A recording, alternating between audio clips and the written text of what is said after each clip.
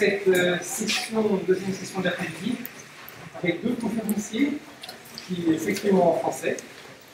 Euh, et donc j'ai le plaisir de donner la parole à Marceau Vespin, qui est actuellement postdoc euh, dans l'université de Gazen, qui travaille sur les jeux, qui est anthropologue, cela va se sentir, je crois, dès les premières paroles, et qui s'intéresse euh, à de nombreux sujets, comme tous respectent, euh, en particulier euh, aux animaux, à l'anthropologie culturelle, avec des, des, objets comme ça, des, des animaux qui parlent de, de pas la même, parce que, bien sûr, il a développé un problème qui était un peu naturel de là pour les jeux. Marc-André, merci. Donc,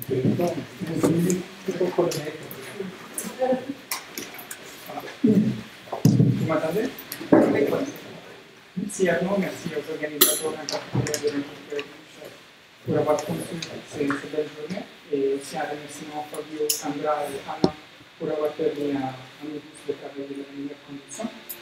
Alors, euh, comme Arnaud le disait, ce sera un, une présentation en partie anthropologique, mais aussi une partie, euh, en partie philologique, on va essayer un peu de réarticuler le message. Et je, je m'étais concentré en fait sur euh, un niveau, si on veut utiliser des termes un peu structuralistes, euh, syntagmatique, et donc euh, je vais analyser la figure de paramètres dans un contexte narratif particulier qui était celui de Philostrate et de son traité sur les héros. Et j'avais dégagé à partir de là toute une série de catégories qui étaient à mon avis pertinentes pour étudier la figure de paramètre et pour étudier la, euh, le pourquoi particulièrement possible pour euh, associer le paramètre et pas notre héros à l'invention de jeu. Aujourd'hui, je vais faire un peu notre parcours, c'est-à-dire d'étudier euh, l'axe, si on peut l'appeler comme ça, paradigmatique, c'est-à-dire de voir les différences entre les versions possibles qui peuvent euh, pour se substituer l'un à l'autre, euh, alors qu'il qu est question de, de, de, parler, de se raconter l'invention de, des. Et, je suis parti en fait de deux textes en particulier, un, un essai qui a paru très récemment en 2011 de Armand Lagour qui s'appelle The Greeks and the et c'est une réflexion en fait sur le concept de nouveauté technique, de, euh, disons, de, de, de technique, et euh, qu'est-ce que ça signifie? Pour les Grecs de parler d'une technologie et de l'invention de garantie. Mais je me suis tout de suite rendu compte, en fait, que dans le récit de Armand Lagour, la, la, place de paramètres c'était très réduite, la place des jours était aussi très absente, et euh, donc il n'y avait même pas de, de récit qui était commenté sous l'invention de ce, de ce très important, tel que le PDA et le PADIA et celui Et l'autre texte duquel je suis parti, c'est un texte beaucoup plus ancien. C'est un article de Marie Delcourt de 1965 qui s'appelle The Last Giants et euh, il, a, il, a, apparu en fait dans la revue américaine History of Religions. Et là-bas, Marie Delcourt avait cherché à étudier euh, certaines figures, en particulier les géants, les titans, et certaines figures périphériques, on pourrait dire, de l'époque homérique, et surtout Ajax, Philoctète et Palamède, le, euh, en fait à une catégorie de héros culturels, de tricksters. C'était une catégorie très utilisée dans les années 60 la catégorie du trickster comme héros ou dieu qui s'oppose à l'autre établi du dieu olympien et qui cherche à partager le savoir des dieux avec les autres. Et donc, elle avait fait encore une sorte de. Euh, elle avait dressé une comparaison entre ces personnages-là, donc Ajax, Philoctète, et Prométhée en particulier, Titan et Palamède. Et moi, je cherchais, euh, de, de, je cherchais à faire en particulier une différence, c'est-à-dire de coller les, les, les particularités de chaque récit, et donc de voir en quoi Palamède et d'autres récits se différencient, par exemple, de l'invention technique introduite par d'autres personnages tels que Prométhée Dédale. Et pour faire ça, je voulais partir de la première, euh, du premier texte dans votre c'est un texte d'Hérodote, c'est premier dossier que je vais aborder, c'est l'invention des euh, qui vient de bien, qui vient de la Libye, de la mythologie. Et on est dans, au chapitre 94 des, des, des histoires d'Hérodote, et ici, après avoir raconté toute l'histoire de roi Lydia, il, il introduit un petit, euh, une photographique qu'on peut lever pour expliquer, pour décrire la population libyenne, qu'est-ce que c'est euh, être un Libyen, qu'est-ce que c'était le culture de Libyen. Et euh, il va partir en fait en, éliminant les points de distinction entre les Grecs et les Libyens, et en disant que en fait, les Libyens utilisent, font usage des, mêmes coutumes que les Grecs, sauf pour un élément, c'est-à-dire que les pères libyens obligent leurs filles à se prostituer. Ça, c'est la seule différence culturelle qui Rodolphe vraiment. Et à partir de là, il, euh, il a introduit en fait toute une, série de primautés des Libyens, c'est-à-dire les Libyens auraient inventé l'usage pour imprimer de la monnaie, ils, auraient inventé l'usage du commerce de détail, et en particulier, euh, au chapitre 2, vous le voyez, les Libyens racontent eux-mêmes, donc c'est un récit que Rodolphe nous présente comme un récit des Libyens qui se racontent eux-mêmes, ils ont inventé la paillina. L'Europe utilise ce mot à la place de paillina, mais c'est un mot qui est presque synonyme de paella, donc une forme un comportement Et ces deux-là, donc tas paillina, tas minus ici, et caractère capesterosa. Ce sont des jours qui encore aujourd'hui ils utilisent, sont enracinés. Capesterosa, c'est littéralement le verbe capisteri, donc ce sont vraiment des traditions ludiques d'un peuple et qui sont utilisés encore aujourd'hui chez les Libyens, mais aussi chez les Grecs.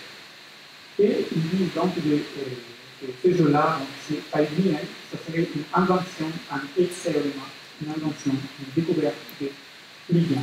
Mais euh, ce n'est pas la seule chose que l'Europe dit, parce qu'il dit aussi que euh, l'invention des jeux se rattache à un événement très particulier de l'histoire libyenne, c'est-à-dire euh, le départ d'une partie de la population qui avait été en fait contraint de partir de Libye pour aller fonder d'autres colonies.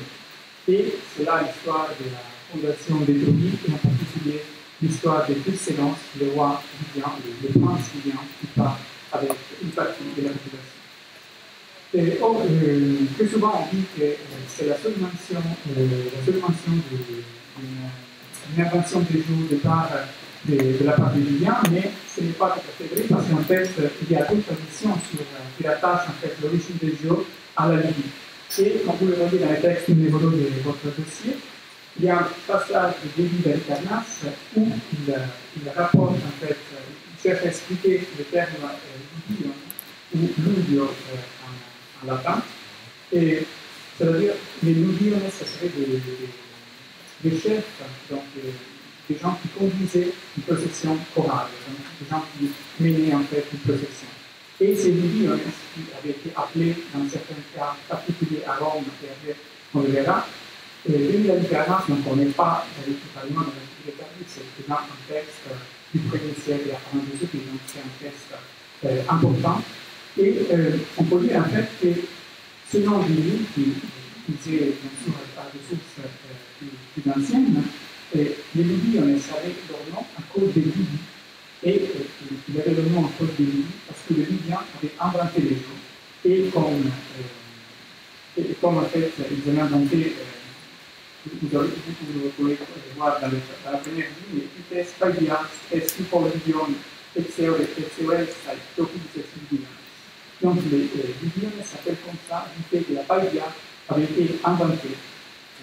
Là, il y a aussi les participes d'Opidis, donc ce sont toujours des récits qui, qui qui sont relatés, mais ce n'est pas évidemment la vérité, c'est ce qu'on a.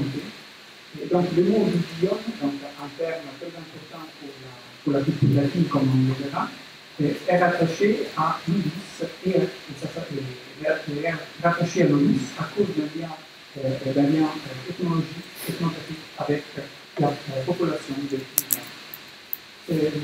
On va voir en fait que euh, la parmi les, les, inventions que les anciens euh, euh, se représentaient, les jeux étaient en particulier, en particulier rattachés à la, à la figure des, des Libyens, et en particulier à des personnages euh, bien spécifiques. Et, euh, comme vous, vous, pouvez lire dans le texte numéro 3, c'est en fait la fin du livre 7 de l'Ancien, c'est le fameux catalogue des inventions, le livre 7 de Bill, c'est le livre qui traite en fait, euh, il est appelé le livre, livre anthropologique parce qu'il traite des humaine. Et va, euh, à la fin de, de, ce livre, on a tout un sorte de abrégé, résumé, de traités de ornématologie, déjà de, la période alexandrine, ils avaient résumé les, les, inventions dans les traités liste, qui avaient très souvent le nom des donc sur, inventions. Et ces, ces textes, ces traditions, et il va nous qu'en fait, la à l'usure, l'instrument pour jouer le bal, c'était une invention de Giges. Et Giges, donc le roi, le premier roi Ferdinand de et en Libye. La Libye avait été gouvernée en fait par deux dynasties. La première, celle des Héraclidiens, des Héraclides, et après celle des Mérinac. On peut euh, passer maintenant euh, toujours dans cette, euh, perspective de l'invention du jeu au texte numéro 4 qui rattache son jeu deux traductions particulières. L'invention des jeux par révision et le contexte de cette invention. Parce que les inventions des jeux ne sont pas des inventions sans, euh, sans, aucun euh, contexte narratif. Là, en fait, on est confronté à deux pistes euh, herméneutiques d'interprétation d'un phénomène. Soit on se rattache à des listes euh, un peu sèches, là où il y a un peu du personnage et l'invention, soit on adopte une démarche qui est, je voudrais dire, plutôt protagoréenne, plus philosophique, parce qu'en fait, c'était Protagore qui avait toujours traité cet aspect des origines de l'homme et des techniques de l'invention, il l'a fait euh, en utilisant euh, en fait une approche philosophique. Il avait réfléchi sur ce phénomène. Alors que d'autres approches, comme la, le simpliste de l'invention, bien évidemment, c'est une approche beaucoup moins riche qui ne permet pas de conduire des catégories culturelles qui sont appliquées dans ces précis. Et le texte numéro 4, c'est euh, le livre 7 du livre, de, de, de l'histoire euh, sur, la, sur, sur en fait. L'année depuis 364. Et euh, ce qui est important ici, c'est en fait la, euh, mention de l'éthiopie. On parle jamais de Libye, mais vous voyez que d'après Hérodote et d'autres textes, on sait qu'il y avait ce lien entre l'éthiopie et Libyens. Les Étrusques pouvaient être aussi appelés les Libyens d'une manière euh, trop euh, élogique. Et euh, ici, on a une pestilence qui, en fait, est envoyée par les dieux, comme les textes le disent explicitement. Et les, les romans cherchent, Lacan cherche en fait à éloigner cette pestilence. Et, il, il essaie de plusieurs manières. Et, disons, au tout début, il cherche à faire euh, usage des consignes, donc euh, il utilise, euh, si, on veut, l'expédient rationnel, donc une sorte de, on pourrait dire, il cherche à inventer des objets pour être des stratégies pour éloigner la pestilence, donc la, raison, mais ça ne marche pas. La vis, euh, donc la puissance de la maladie, de la pestilence persiste, et ils, ont, ils essayent aussi de l'épisterium, donc véritable rituel qui euh, avait été, euh, introduit à Rome euh, de, la, de, de, la, période de la vie ancienne. Et ici, donc, dans les années 60 du XXe siècle, c'est la première fois qu'il est introduit. Donc, c'est vraiment un, un, événement très important. Et, mais l'utilitarisme qui consiste en fait à appeler les dieux comme commensal des régiments ne marche pas non plus. Et la, dernière solution que les acceptent, c'est d'appeler des spécialistes rituels, c'est-à-dire des, gens qui avaient une certaine pratique avec la religion, mais, aussi peut-être avec les jeux comme objet pour penser certaines choses, que on va voir. Et il choisit donc d'appeler les histriones ex Donc euh, là, vous avez tout le livre qui nous parle de l'idiones l'audience à la fin, etc. Donc, ils ont appelé les produits. Mais pour après, euh, l'audience, en fait, sont appelés histriones, parce que euh, dit que hyster, c'était le mot étrusque pour appeler ces gens d'acteurs. En fait, il s'agissait d'acteurs danseurs qui, en mettant en scène une sorte de spectacle de danse, euh, avaient réussi à éloigner la distance et à euh, rétablir une certaine communication juste et normale avec les lieux. Ça, c'est pas fouille, disons, une, une exégèse un peu farfelue, mais ce livre qui nous dit que euh, les ludis qui euh, sont introduits à Rome par les Étrusques, c'était la dernière possibilité pour eux. C'était vraiment la, dernière chose à faire pour essayer de repousser la pestilence. Et il va appeler ça Pelestis ire placam. Placam, c'est un mot euh, dérivatif du verbe placeo, avec un, un instrumental qui, qui est la, le suffixe même. Et ça signifie un outil, quelque chose qui sert pour au Dieu. Quelque chose qui sert pour nous rendre, euh, euh, pour nous rendre euh, sympathiques au Dieu. J'espère que c'est pas un homme. Et, et donc, cette partie-là euh, rattache l'introduction de l'oubli. Bien évidemment, le l'oubli change les l'oubli scénique, donc les spectacles musicaux, les spectacles théâtrales qui, au fur et à mesure du temps, seront toujours plus euh, affinés par les romans. Mais l'introduction du jeu, de cette, de cette forme de païdia, il ne faut pas se tromper parce qu'en fait, l'oubli, on pourrait dire qu'il ne s'agit pas d'un jeu. La danse, ce n'est pas un jeu. Mais pour nous, on, on, fait cette distinction. Il y a des passages, par exemple, comme M. L'a rappelé, dans les lois de Platon, il appelle la, danse la païdia escorée. Donc, ils ont des jeux, moi je dirais plutôt la performance de la danse. C'est quelque chose qui est en fait offert qui est représenté. Donc là, on dit, oui, bien sûr, ce sont les Lili scéniques, donc les scéniques, mais au sens large, c'est une activité ludique. Pas ludique dans le sens, mais ludique dans le sens étymologique du verbe. Et euh, alors là, je vais euh, tourner, retourner à Hérodote pour voir, euh, en fait, dans le passage numéro 5, que la situation euh, dans laquelle le jeu euh, avait été inventé par les Libyens, c'est un peu pareil. C'est-à-dire, si avant il y a eu la pestilencia, et Hérodote nous parle d'une citadelle, donc d'un manque de nourriture, d'une carestie, d'une famille. Et à la fin du passage que, vous avez mis dans le verset, on parle d'une invention des jeux prosperement pour combattre une misère, pour combattre, combattre une famille. Et disons que dans ce deuxième passage, Hérodote va euh, expliquer de quels jeux il s'agissait. Ce ne sont pas les jeux en général, même si il va dire qu'il avait inventé toute forme de jeux. Sauf qu'il avait, inventé les oscillés, astragalo, les cuboi, donc les dés, et les jeux de barre. Donc là, on voit aussi une certaine eh, un certain parallélisme avec les textes qui s'appliquent depuis. Il avait dit que l'idée, c'est d'avoir des inventé pas le jeu de balle, mais l'instrument, l'objet, la et le sort. Et donc ici, on voit encore une fois une, ce qu'on aurait appelé autrefois peut-être une sorte d'homologie structurelle entre les phénomènes. Et, et euh, ont des points en commun, c'est-à-dire une calamité naturelle qui risque de mettre en péril la tenue d'une communauté, d'un côté, et de l'autre côté, la solution qui est inventée, qui est celle de l'invention des jeux, l'introduction des jeux, la pratique de vie comme euh, une sorte de, de collant pour, euh, pour euh, tenir ensemble une société. Alors que le résultat ici, c'est complètement différent. Si les Romains arrivent à repousser la pestilence, les Libyens n'y arrivent pas.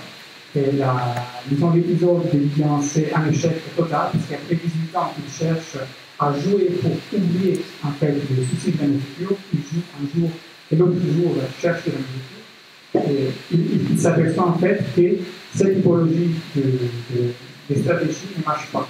On serait tenté de rapprocher cette démarche au quotidien dont nous parlait Donc, les rois acquis est contraint à passer à autre chose et à euh, en fait un tirage de sort pour qu'une partie des Libyens quitte la mythologie et une partie. Et ceux qui vont quitter la mythologie, ce seront des, des en fait. Ceux qui, avec les Pans et Vénus, ils vont changer de nom, donc ils vont d'une certaine manière quitter leur identité libyenne et vont euh, comme ça euh, tomber des colonies en mythologie. Là, je vais passer à une deuxième partie du dossier, qui est euh, celle de Palamède. Et là, je aussi, euh, j'espère, faire noter qu'il y a là aussi des, des éléments structurels qui sont euh, qui sont les mêmes que les textes qu'on a vus avant. Et malheureusement, comme toujours, lorsqu'on parle de Palamède, on est en train de parler de fragments, de, de littérature fragmentaire, sauf si on a choisi d'étudier et lire philostat des sources philosophiques, mais j'ai choisi en fait d'utiliser un fragment euh, Nautilus et Sophocle, et euh, le fragment, c'est le texte numéro 6. Vous avez une traduction française est la même, donc euh, vous m'excuserez si vous avez des erreurs de français. Et euh, là aussi, vous voyez la, la, le deuxième mot, limon, limos, encore une fois, la disette, la famille. Ici, c'est probablement Nautilus qui cherche à défendre, qui cherche à euh, nobilité la figure de Palamède et à accuser les assassins de son fils, donc les Athéniens, et en particulier Agamemnon et Ulysse, en rappelant des grands euh, bienfaits que son fils avait réalisés pour la, pour la, pour la population athénienne et en particulier pour la ville. Et donc, vous voyez ici qu'il dit ce n'est pas lui qui a inventé, qui a éloigné Héroïse de, de ceci tombé, donc de l'armée, l'immense, donc la famille, la visée. Et après, il dit, il va énumérer, après, il dit, en fait, il, a, inventé les, formes les plus sages, les plus sophistiquées de passer le temps, et surtout de, mettre fin à la ardia, qui n'est pas seulement le loisir ou de rien faire, mais ardia, c'est vraiment un pays, parce qu'il y a une communauté politique ou militaire qui doit agir, et qu'il ne faut pas, à cause du manque nourriture, à cause d'autres problèmes, l'ardia, donc l'inactivité, c'est véritablement un pays social. Donc, euh, mettre fin à ça, ça a véritablement un valeur et politique particulière. Mais ce que je voulais euh, en fait euh, remarquer, c'est l'expression que Nautilus utilise, c'est synthéo et Moi, j'ai traduit avec, euh, en disant cela avec respect pour les dieux, c'est comment, comment dire, personne ne peut empêcher, pour mettre fin à une famille, à une vicette. Et quand il le fait, il, il, il, court des risques. Et s'il ne le fait pas sous l'impulsion de Dieu et avec la, euh, de Dieu, il va risquer l'échec total, comme ils ont fait les Libyens. Donc cet aspect euh, qui pourrait être, pourrait être marginal, mais euh, cette expression, c'est toujours une expression de piété. Donc c'est quelqu'un qui parle avec respect pour les.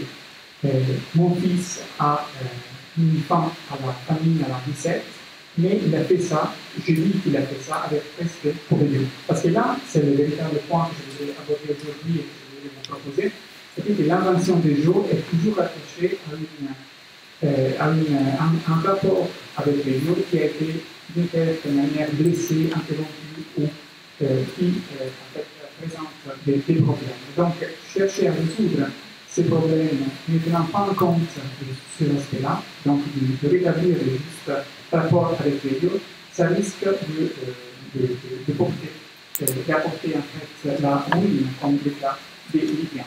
Et je dis ça en plus parce qu'il y a différents passages dans les, dans les textes où Palamède a inventé la Pétria et la Tibéria, les Tibor et les Pessor, pour euh, éliminer la famine et la misère, mais euh, il a agi en fait en, relation avec un savoir vivant qu'il respecte. Il respecte le savoir vivant, il respecte les dieux, il comprend que les nuances, il ne s'agit pas d'une quelque chose qui n'a rien à faire avec les dieux, mais c'est avec les dieux qu'il faut euh, parler, il faut euh, euh, entrer en, commerce pour, pour, pour mettre fin à la, à Et là, ce sont les textes numéro 7 et 8. La, le texte numéro 7 de Polémon de PDG, fragment 32. Et vous, vous trouvez ce fragment-là chez Eustace Thessalonique, qui a commenté évidemment l'Iliade de l'Odyssée, entre autres, d'Homère. Et Polémon nous parle du fait qu'il existait des objets de, de, de littoral, donc des pierres, des plateaux, peut-être, en Microsie, en Troie, qui rappelaient l'invention des paramètres. Mais ces, pierres-là n'étaient pas des pierres déposées, mais étaient des pierres consacrées, comme vous le voyez par les, par les textes, par premiers verbes, anathépeis, donc c'est un verbe typique pour indiquer la consacration d'un objet. Confirmation à ça, le, un passage, le passage de Pausanias, Pausanias nous dit qu'à Argos, donc c'est la section du livre 2 sur l'argonide, à Argos, tout le monde savait qu'il existait un temple de Tite, de la déesse euh, on pourrait dire, de la chance euh, à l'ESTP. Et ce, ce, temple-là, ce, naos-là, était en fait très ancien. si on doit croire que ça a été un des premiers à avoir consacré des objets, et en particulier à avoir consacré son box, son idée.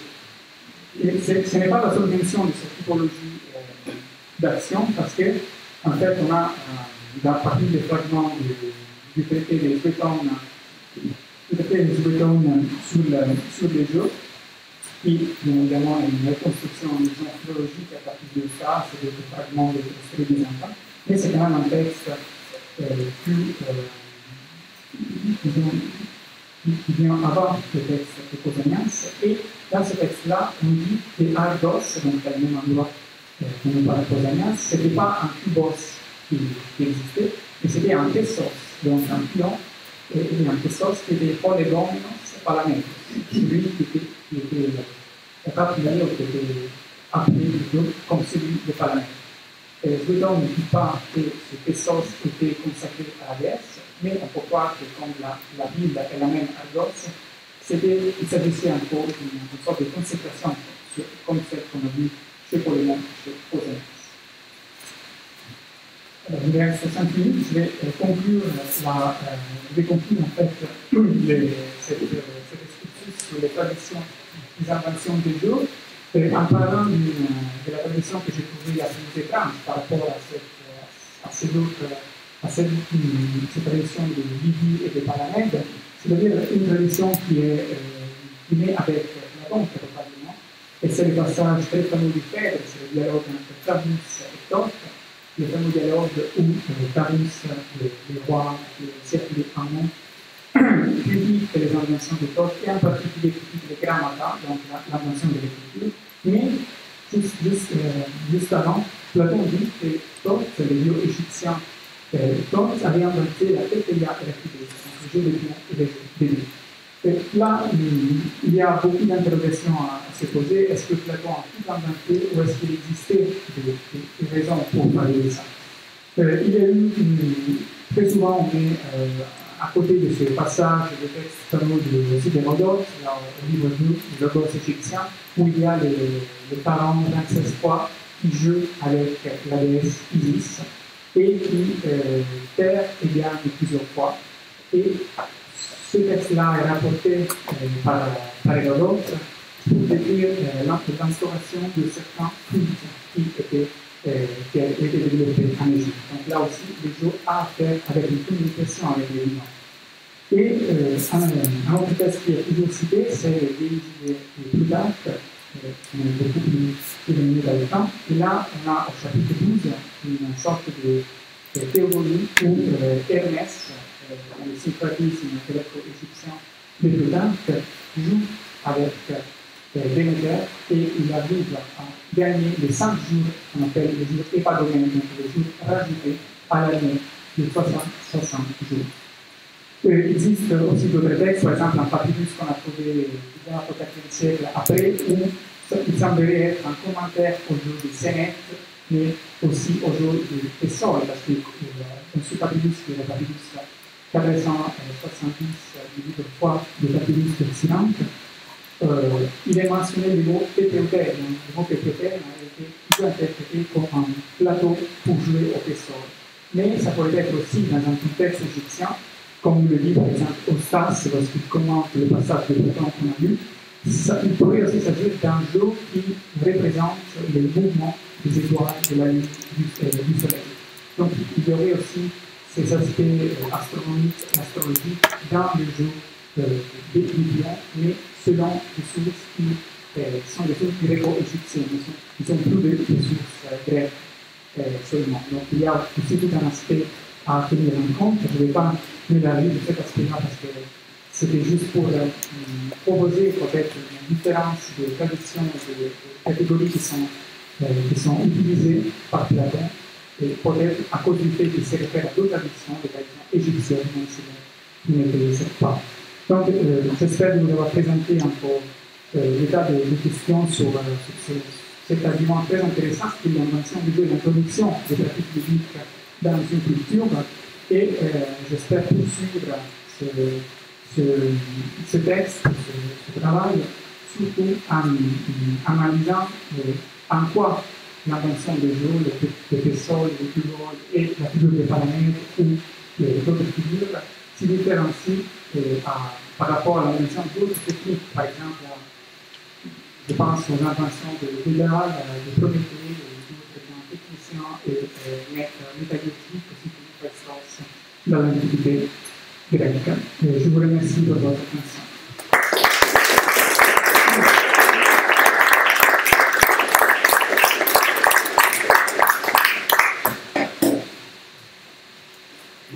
Tu as bien montré la valeur à la fois significatrice et thérapeutique du jeu dans le contexte de, de son. Il y avait le dernier texte de la Cour, euh, le commentaire que tu as apporté sur euh, le fait qu'il y aurait une analogie, euh, peut-être même une socio-astronomique à faire. Donc tout ça pour le jeu aussi des symboles,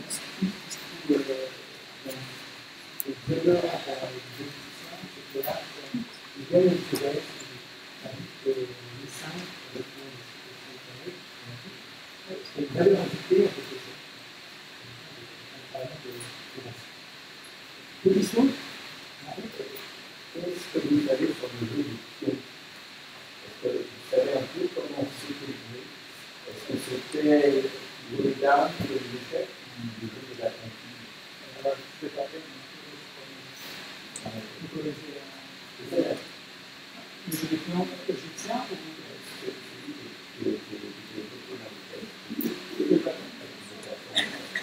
mais tout le monde croit que c'est un jeu en fait pas trop loin du jeu de Tessor et Arrête.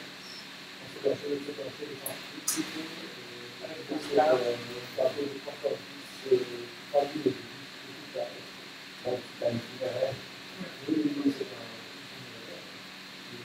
Les cinq dernières cartes, ils sont, ils sont marqués sur les cinq premières phrases, ils sont marqués avec les cinq. Ça veut dire et puis, non, non, on est d'accord, c'est juste avoir des Mais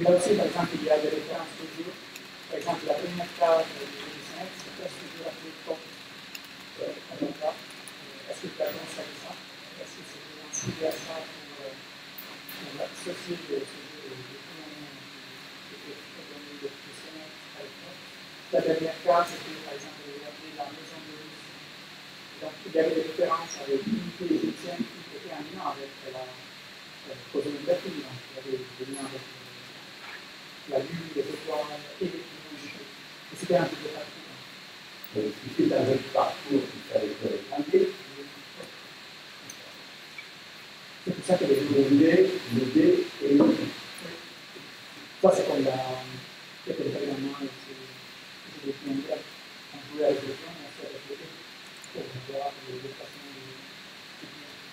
le stesse tasse di partite.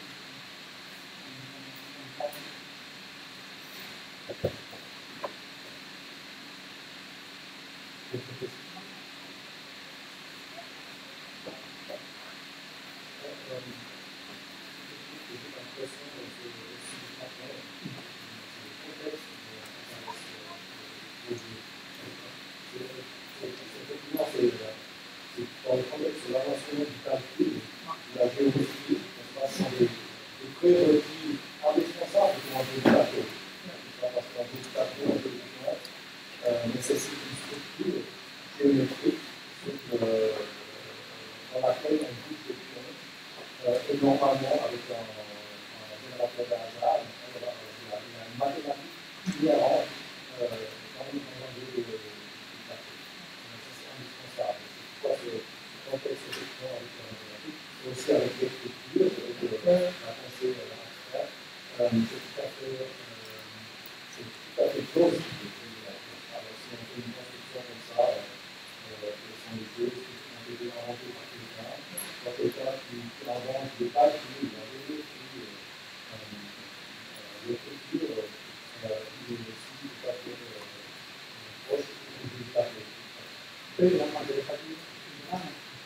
y a une tradition de commentaires métalliciens et qu'il y a une.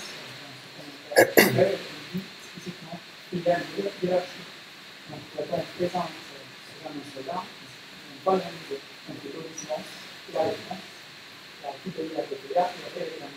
Et puis, parce que le jour, même s'il n'a pas l'audience, même s'il n'a pas la capacité de faire des acquis, donc une capacité abstraite qui n'a pas une matérialité, ils ont quand même la possibilité de ils parlent de la classe une fois donc de mettre de l'ordre dans une vision de l'utilisation. Et alors, et ça, ça passe très bien à tous les inventeurs qui ont fait ça. Palamède, c'est en fait un articulateur de Pythagore et pas aussi, moi je parle d'influence politique parce que je ne connais pas la classification, 70 millions de c'est parce qu'il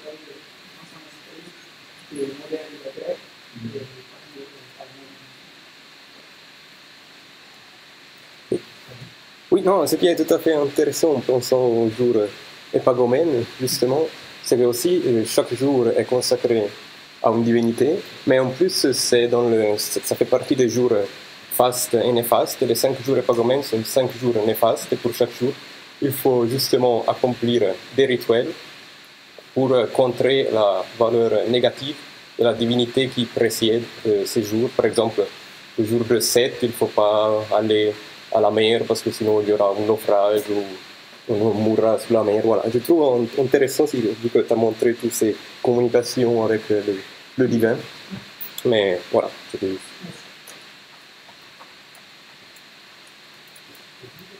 Merci encore. Euh, ce qui est difficile quand on traduit ce texte, c'est ça que je c'est la différence entre l'invention générique et puis l'invention d'un jeu particulier. Par exemple, le texte d'Hérodote, euh, on a dit c'est lui qui a, enfin, c'est eux, euh, aurait inventé les jeux de dés, le jeu d'osselet, le jeu de ballon.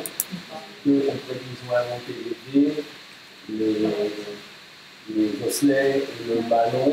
Et on est allé aussi peut inventer les cartes, y a une façon de jouer aux que. À mon avis, c'est très intéressant, ça c'est la moi j'ai une hypothèse, je veux dire que les Libyens, ils inventent ce mais ils n'inventent pas de la façon correcte. Alors que Palamède, c'est très rare qui a a inventé la jeux de jeu. Le jeu de jeu. Il n'a pas inventé le jeu.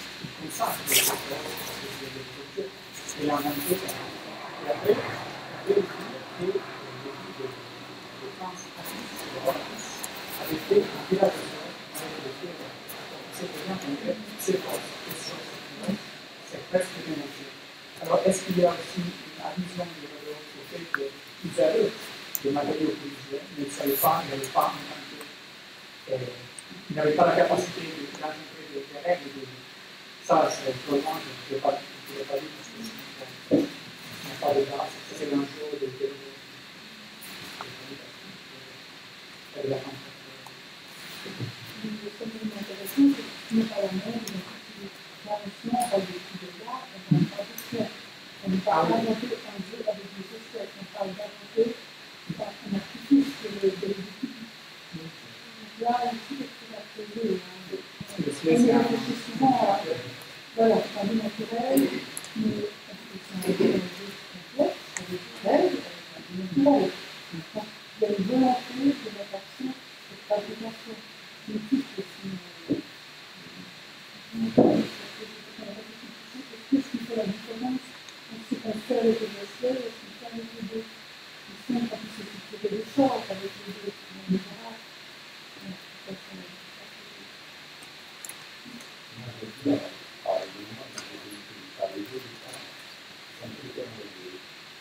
Alors, l'histoire du jeu de Catalan, on voit bien que le calendrier a été inventé comme modulaire par des gens qui peut-être pas dans le même temps.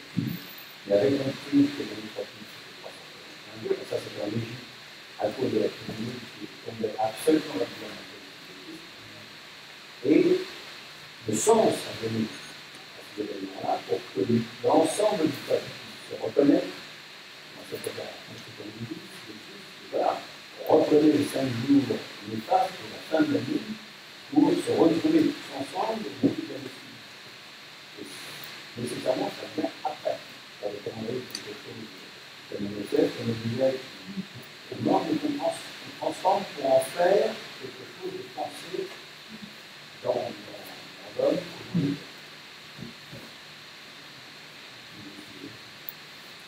Il y a une différence entre le texte et le contexte, le contexte émergent parce que en, en disant, c'est peut-être qu'on dit qu'il y a un rapport avec le rapport de l'univers de Dieu, c'est ne propose pas pour soi, mais il y a un dessinateur de Jésus. Mais alors, la différence, essentielle, c'est que c'est que dans l'étude, dans l'étude superficielle, par une démarche de la commission, alors que dans les autres, ça a toujours un divertissement, une passion, Ils n'ont pas pensé au livre, c'est pour ça que ça va alors que, alors que si tu dis que ça, que ça marche, que c'est ça qui marche, oui, euh, parce que c'est pas en fait. Ah oui, C'est dans le- voilà. Mais non, le livre que déjà, c'est qui est à droite, on a bien c'est parce que il a pas avec le livre, avec le livre, que spécifiquement, parce qu'on va mettre des choses qui ont inventé comme des éléments de source, pour essayer d'observer des éléments, pour voir si Ça me compte aussi, alors peut-être parce qu'il y a une dimension spectaculaire qui est derrière, je pense que le but, et dans le but de ce truc, là, euh, dans le fragment, c'est c'est pour ça, c'est c'est- c'est la fin. Alors qu'il a fallu être un peu plus, euh, il nous a libéré de la comme s'il débutait la. C'est le texte, c'est vraiment la règle. Et donc, il y a une- puissance Et on avait cette puissance, il faut en avoir et tellement forte qu'elle est finie par le fait que, avec la vision de Dieu, c'est-à-dire évidemment, c'est Dieu.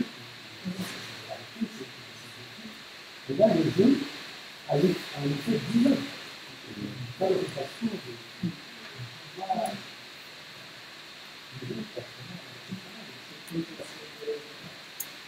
Peut-être parce que c'est so fort, que c'est consacré à la vie. Je pense qu'elle a été ce ce traité de la vie. Alors, pour le reste, il faut savoir que c'était les objections du famille. Qu'est-ce qui devrait être la Personne n'a pas n'a pas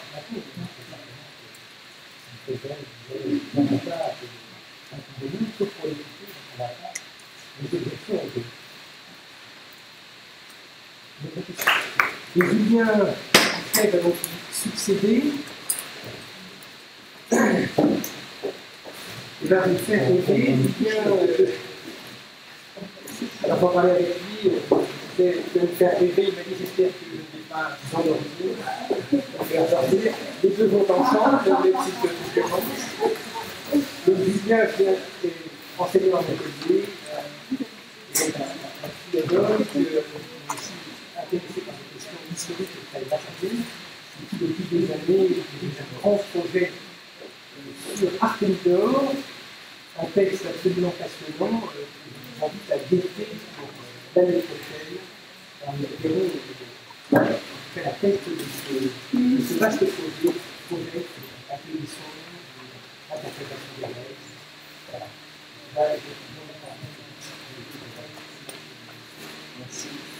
Donc, je voudrais tout d'abord remercier chaleureusement les organisateurs de m'avoir invité à participer à ce colloque un thème que nous avions rencontré dans un d'or et qui nous avait donné euh, du fil à et qui, en fait, euh, donne encore du fil à retordre que vous allez voir. Revenir sur ces passages m'a permis de voir plus clair dans, quelques cas. J'avais intitulé ma communication autour d'un thème d'or parce que je pensais vous parler non seulement de l'auteur de l'unique traité d'interprétation des sons antiques préservé dans sa totalité, mais aussi de ses prédécesseurs et de ses successeurs. Or, on ne trouve rien ou presque euh, sur le jeu euh, dans ses prédécesseurs. Je parlerai néanmoins de l'un d'entre eux. Euh, et euh, les seconds, donc les successeurs, je pense en particulier à l'Homéocriticum Byzantin d'Achmet, offrent une matière, mais euh, ça va demander trop de temps. Euh, alors, pourquoi Apollodore Sinon, parce que nous travaillons depuis longtemps sur ce texte. Nous, c'est-à-dire un groupe de travail coordonné par Christophe Champignon et moi-même, préparant une nouvelle édition, traduction et des commentaires. Pourquoi Je dois vous présenter brièvement son traité, pour vous situer pour vous situer mieux les, passages que je vous ai. Euh, donc, c'est un cycle des faits qui est composé vers 200 après Jésus-Christ, un traité de critique et sans doute un autre de l'honoscopie.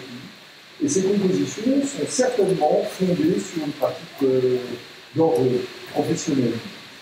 Euh, Cyprien Fès, comme le géographe anonyme, Artémidore, il dit qu'il signe deux baptistes pour illustrer la, la patrie de sa mère, une petite cité de commence par un exposé théorique, il va aboutir assez vite au songe euh, prédictif, allégorique, c'est ça qui l'intéresse.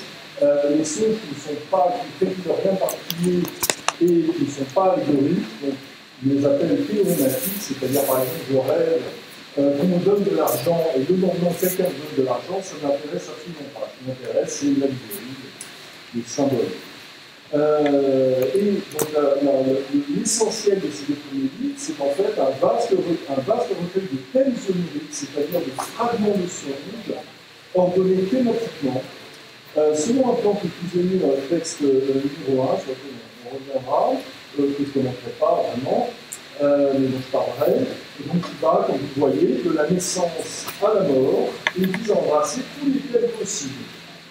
Évidemment, il ne le fait pas, mais c'est l'ambition affichée. Ces thèmes donc, sont interprétés au cours du, développement en fonction de ce qu'on peut appeler les circonstances du rêve. Les circonstances du rêve, c'est toute une série de choses. Ça peut être le sexe du rêveur, son âge, son occupation, euh, professionnelle ou non, euh, ses attentes, ses craintes, etc. Une variété euh, infinie, théoriquement infinie. À ces deux livres, Artémidor va ajouter des agendas, donc ce sera le, livre 3, sans, ordre. Et plus tard, il dédie à son fils un quatrième livre présenté comme une réponse aux critiques formulées contre les, les précédents. Un quatrième qui en fait reprend euh, la matière des, deux premiers, des trois premiers, de manière plus générale, un peu plus théorique et en fait moins ordonnée. Euh, le cinquième livre est une, un livre, une annexe au quatrième et euh, est en fait un, recueil euh, de, de, songes entiers. En fait, c'est le seul endroit, pas tout à fait le seul endroit, mais euh, c'est dans donc, le traité d'Artémidor hein, euh, envisageait, voyait, envisageait les jeux. Hein, il va retrouver des questions évidemment qui ont été posées à plusieurs reprises